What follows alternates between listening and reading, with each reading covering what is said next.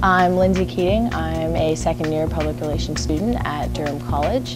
Uh, I chose public relations because I knew a couple girls that took the program before me. They had already graduated and they said it was an awesome program, very hands-on. I'm a very people person, so I thought that would be a good choice. I've learned many things in this program in public relations to multitask and we learn to work in teams. Uh, group work is a big thing. I would say my favorite course is probably freelance writing in second year, second semester. The teacher is awesome.